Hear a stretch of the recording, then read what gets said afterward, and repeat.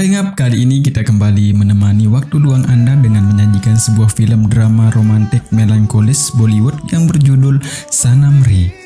Sebuah film yang menceritakan tentang kisah perjuangan cinta seseorang namun takdir berkata lain. Oke, langsung saja kita saksikan ini dia filmnya. Oh, zindagi, kya zindagi.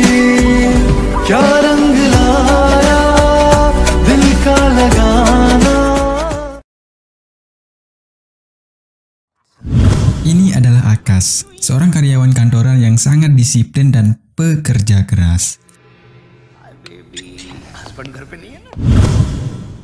Dan ini adalah bosnya, bos yang sangat tegas, pemarah dan ya sedikit cabul sih.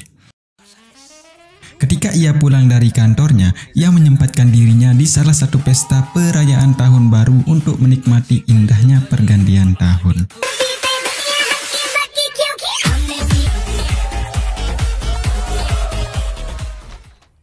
Paginya, ia dibangunkan oleh bapak kosnya karena sudah terlalu lama menunggak pembayaran. Akas pun diomelin. Ya karena banyak urusan di kantor, ia pun segera cabut. Sampai di kantor, ia pun dimarahi oleh si bos karena terlambat. Akas pun hanya bisa bilang, ya minta maaf. Oke next, saat sedang asik diskusi membahas tentang bisnisnya, tiba-tiba sang ibu menelponnya. Dalam pembicaraannya dengan sang ibu, Akas disuruh pulang ke kampung untuk menandatangani surat penjualan. Studio yang atas nama dirinya dan kakeknya terpaksa dijual karena sudah tidak ada lagi yang mengurusinya. Terlihat kampungnya seperti kota mati. Ya begitu juga dengan sang kakek yang sudah pikun hanya bisa memegang sebuah kamera jadul yang menjadi kenangannya. Akas dan sang kakek pun menuju studio untuk menandatangani surat penjualannya. Ketika Akas membuka pintunya, seolah-olah ia terbawa ke masa lalunya. Terlihat di masa lalunya kampungnya begitu ramai dan penuh keceriaan. Terlihat juga sang kakek sangat memanjakan dan menyayangi Akas. Ketika ia masih polos-polosnya, ia bertanya kepada kakeknya tentang masa depannya, menanyakan apa itu cinta dan siapa jodohnya. Sang kakek pun meramalkan bahwa mereka akan saling mencintai tapi tak akan pernah saling memiliki. Wow, ketika bertemu hati akan bergetar dan wanita tersebut berada 500 meter dari studionya. Keesokannya, Akas pun menghitung langkahnya menuju rumah yang dimaksud oleh kakeknya. Sampai di sana, ia pun melemparkan sebuah bola kecil ke dalam rumah tersebut dan keluarlah seorang bocil cantik. Akas pun hanya diam dan langsung balik kanan untuk pulang. Oke next, Ketika Akas di rumahnya, terlihat wajahnya yang sangat murung seperti orang mengharapkan sesuatu tanpa ada kepastian. Kemudian sang ibu menanyakan tentang seseorang yang saat ini ia pikirkan, tapi Akas hanya bisa diam sambil memandang kolase foto di dinding. Ia teringat akan masa lalunya dengan wanita yang ia harapkan selama ini. Namanya adalah Seruti, seorang gadis cantik di kampungnya. Mereka berdua sudah lama saling mencintai. Setiap harinya mereka selalu bersama memadu kasih yang begitu membagongkan. Dan suatu ketika, Akas dan Seruti janjian untuk ketemu di tempat yang sama untuk perpisahan karena besoknya Akas akan pergi melanjutkan kuliahnya ke luar kota. Tapi waktu berkata lain guys, gurunya harus cepat-cepat membawa Akas pagi itu juga. Karena kereta api pada waktu itu hanya lewat sekali sebulan saja. Demi masa depan sang anak, keluarganya pun mengizinkan walau sangat berat bagi mereka. Begitu juga dengan Akas, ia pergi tanpa pamit dari sang kekasih. Wow, menyedihkan. Oke next, ketika Akas ingin menandatangani transaksinya, tiba-tiba sang kakek mengingatnya.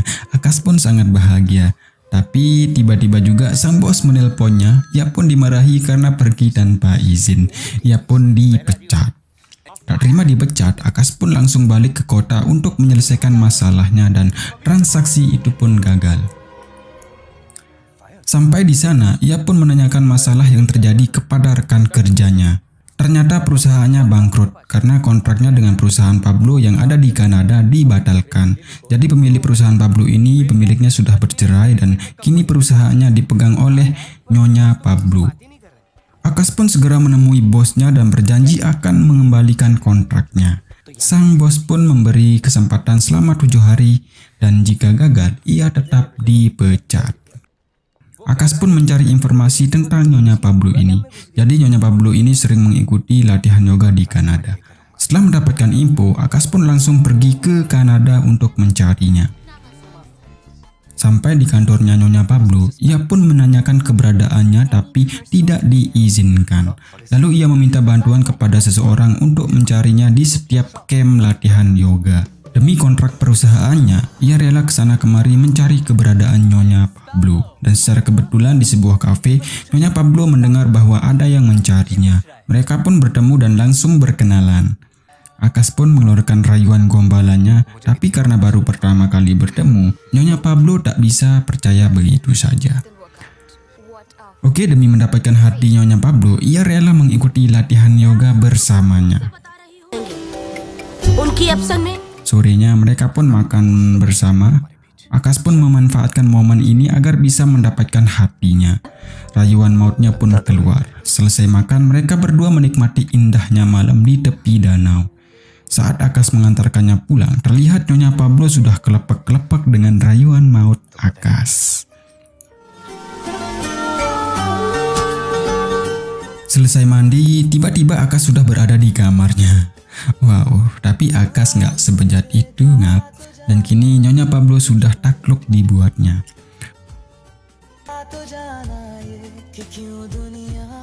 Oke next, saat latihan yoga, pemandu yoga memberikan sebuah permainan tukar bola, di mana mereka harus menulis namanya di bola tersebut. Singkatnya, Akas pun mendapatkan bolanya Anjali. Akas pun kaget, ia mengira dia adalah Seruti. Tapi Anjali sendiri tidak mengenal yang namanya Seruti. Akas pun bingung dan gua juga bingung, padahal itu adalah Seruti guys ya. Keesokannya, pemandu yoga tersebut menyuruh mereka untuk latihan konsentrasi dan berfokus tentang cinta pertama mereka. Mereka pun teringat tentang masa lalunya, tentang cinta pertama mereka. Akas pun mengingat tentang cinta pertamanya dengan Seruti. Anjali pun demikian, mengingat cinta pertamanya dengan Akas. Dan Nyonya Pablo pun demikian. Ternyata cinta pertamanya adalah Akas. Wow, kok bisa ya? What the fuck, man? Oke, seperti apa kisah cinta mereka? Yuk, kita lanjut aja. Kemudian pemandu yoga tersebut memberikan sebuah permainan di mana mereka akan diturunkan di tempat yang sepi dan harus berjuang bersama pasangannya selama tiga hari. Akas dan Surudi pun mendapatkan sebuah kota yang sangat sepi. Mereka harus berjuang bersama agar bisa selamat selama tiga hari. Di adegan inilah cinta yang dulu hilang kini bersemi kembali. Wadidaw.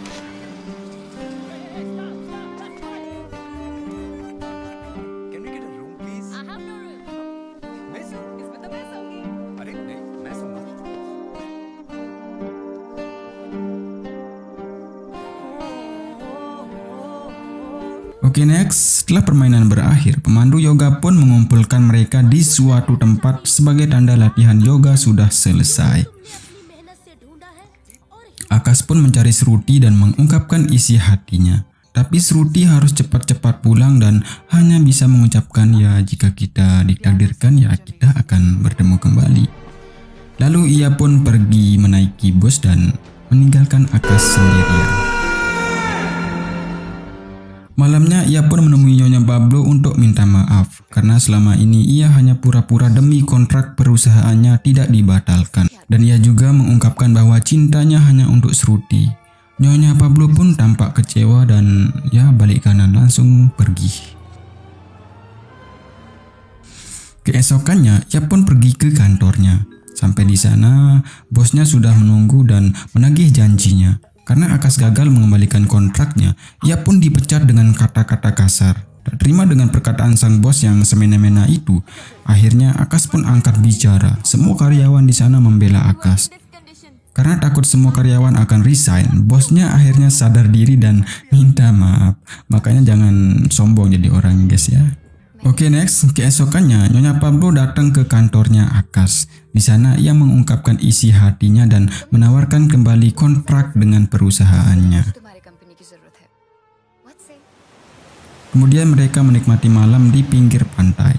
Tak rela melihat Akas yang selalu dirundung dengan kesedihan, Nyonya Pablo siap membantu Akas mencari keberadaan Sruti. Ia pun sangat bahagia. Keesokannya mereka pun berangkat. Sampai di tempat tersebut, Sruti sudah tidak ada di sana. Kemudian Akas dan Nyonya Pablo mencari Sruti ke kampungnya. Sampai tepat di depan rumahnya, Akas pun melihat Sruti sedang berada di sana. Kemudian ia memeluknya dan Nyonya Pablo hanya bisa menahan rasa sakit hatinya. Oh, sakit. Tetapi Sruti tidak bisa menerima Akas yang sudah kembali untuknya. Meskipun ia sangat mencintainya, Sruti meminta agar Akas meninggalkannya. Dengan berat hati, Akas pun pergi.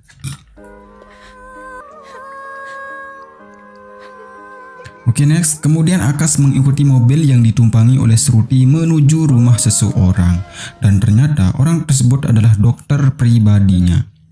Lalu dokter tersebut menceritakan kepada Akas bahwa Sruti saat ini sedang menderita penyakit arteri koroner berat yang membuatnya dalam kondisi sekarat dan jalan satu-satunya adalah ada pendonor yang akan mendonorkan jantungnya. Akas pun menemui Sruti ke rumah sakit untuk pamit sebelum ia akan dioperasi.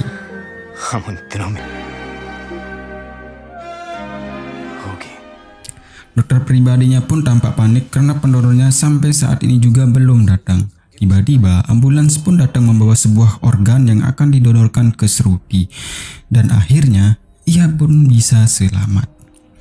Beberapa bulan kemudian ia kembali ke rumahnya.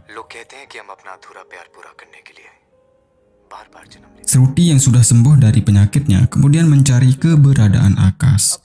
Ia menanyakan ke sana kemari namun ia sudah satu bulan ini Akas tak ada info alias lost contact, kata teman-temannya.